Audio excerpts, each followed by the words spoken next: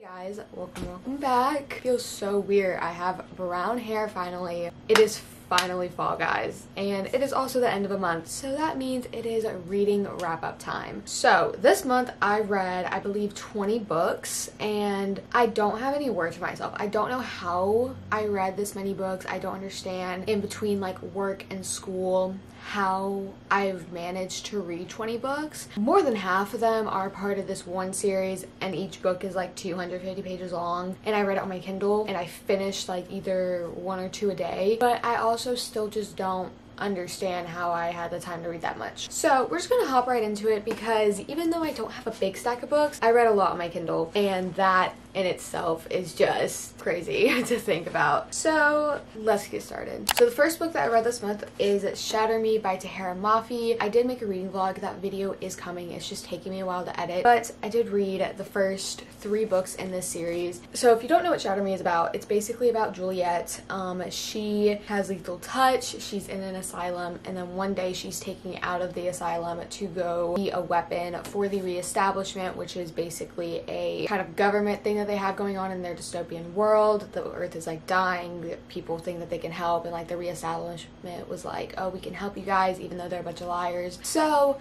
she's taken to the reestablishment, and she's told that she's going to be used as a weapon. She does not want to be used as a weapon because she hates her touch and basically you get to follow her along with Adam and Warner and Kenji and so many other amazing characters throughout the story and just see them grow so much and see them go through everything that they did. I really enjoy this book a lot. I was talking to one of my friends and she was like, you know, I just couldn't get into it and I'm like, I was immediately hooked by the first page. Like I'm not even lying. I just wanted to figure everything out. I needed to read the entire thing. I read the first one and I gave this one a four stars. I did not give it a five star fully just because I was like, mm, it's the first book. I love to see character development and you're just getting to know characters in this one. So I did give it a four stars. I did really enjoy it though. So that's the first book that I read. So the next book that I read, which is the next book in the Shatter Me series, is Unravel Me. In this one, you kind of get to see what life is like for them after everything has happened after the first book. I don't I don't can't really say what goes on in this one because it just spoils everything. But in here you get a lot more character development. I really enjoyed this book. At first I did give it a 5 stars. Looking back, I probably am going to give it a 4.5. So 4.5 to this one. It's really good. Character development is great in here. You get to meet a lot more characters. You really get to make connections with characters that you were least expecting. I really enjoyed this one. But the third one that I read that I freaking loved, I knew I was going to love it the minute I picked it up, is Ignite Me. This is the third one. It is also my favorite cover, guys. It is so freaking beautiful. Also, I tabbed it. We'll be able to see, but like I tabbed it in color coding. Very proud of myself for that. But in this one, a lot of things happen. A lot of character development, a lot of character connections, a lot of just banter. And this book was funny. Like, I was not expecting it to be so funny the way that it was. Yeah, I really, really enjoyed this book. I did give this one a five stars. I loved it. I thought it was amazing. Would read again. Um, and I cannot wait to read the rest of this series. But also in between all those other books, I did read novellas. In this Unite Me bind up, we have Destroy Me and Fracture Me. Destroy Me is in Warner's point of view, Fracture Me is in Adam's point of view. I gave each one three stars. The Destroy Me one made me love Aaron Warner. Like, I knew after reading his novella that I was just gonna love him. I did. So these were the first books I read of the month, which is just a big series. I still need to finish reading the rest of them. I'm working on it, guys. I'm also working on the reading vlog for this, so you guys would be able to see my full detailed review for these books in there. They're amazing. All right, so now we're gonna hop over to my Kindle. I've read 14 books on my Kindle this month, and I'm gonna be frank with you guys, I'm not even done with this month yet. I'm pre-filming this video on the 27th because between work and school, I do not have time to film and edit this video on the same day. So we're gonna we're gonna sit on my Kindle for a little bit. The first one is Guarded by Dominique Wolf. This is a I don't know if it's mafia. I think it is, but the thing is is that she is like the daughter of a mafia like dad. I, don't know what to call him. And then she needs a bodyguard because her dad does something really stupid. And that's where the guy comes in. I can't even tell you their names because I don't remember anything about this book. I gave it a three stars because it wasn't bad. Mm, it was pretty bad. It was just so mid. Like, I did not like the girl at all. I just felt like their connection was very pushed on them. Like, the guy just wanted someone there and she just happened to be a girl that was there and she was so annoying and I just don't understand what was going through their heads. I probably would skip this if I were you. I was gonna buy the book originally because it wasn't on Kindle Unlimited. I heard good stuff about it and then it went on Kindle Unlimited and I was like, okay, I'm just gonna read it. So glad I did not buy the book because then I would be forced to keep a book that I do not like. That was the first one and then we get into a big series. The next 13 books are part of the same series. I'm gonna list them all, but I'm not gonna put all the covers on the screen just because the covers it they gross me out. I hate them. This series is 51 books. I don't understand how it's that many books in one series, but for whatever reason, I'm eating it up. Like, they're 250 pages each, about probably a little bit less. I don't think much more. Follow this big family and this big group of friends, kind of like the Addicted series, but worse. I mean, the Addicted series is really good. Don't even get me wrong. Like, I have my Addicted shelf. This series, I don't know.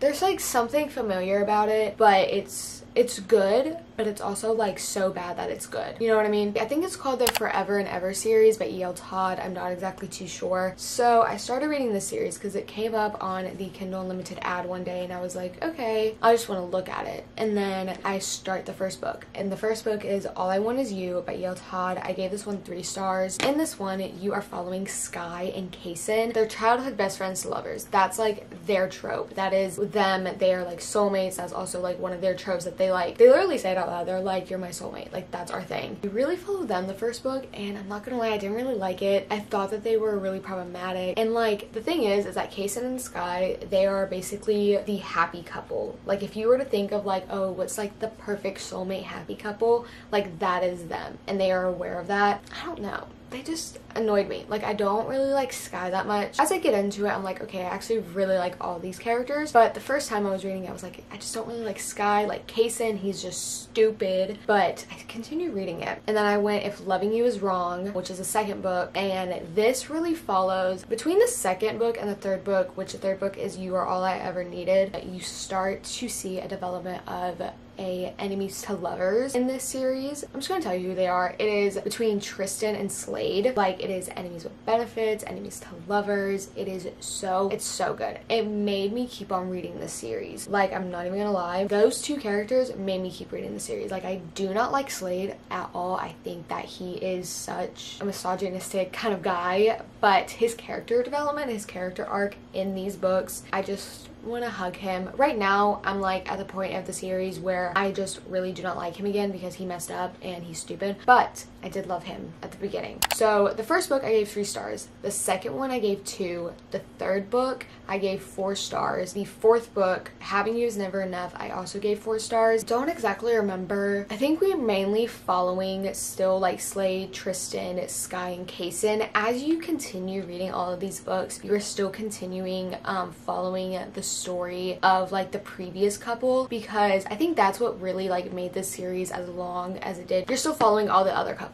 because you start to see them in college and now you're starting to see them grow up and have jobs and I'm sure as you continue reading you see them like have kids and everything. You still follow all the same couples and so you get like a lot more out of it and you get them maturing and messing up and all these other things. So fifth one is We Belong Together which I gave three stars. I don't remember whenever the other couples come in but so you have those four Tristan, Slade, Cayson, and Skye. And then you also have Silky, Caden, no, Conrad, Rolland. I think those are like the main seven people. And then as you continue reading, you meet Thomas, who is Rolland's brother. You also meet Arson, who him and Silky were together for a little bit. And then you get to see him like grow and come into this family and you get to learn more a little bit about him. And then you also meet Heath, who is brought in by Rolland. You get to meet all these characters characters, which is so cool, and be inside each one of their heads and get to know like their romances, their stories, their families, and their dynamics with the rest of the characters. So where was I on? Um, the next one that I read was You Have My Heart. I gave that one four stars. You Will Be Mine.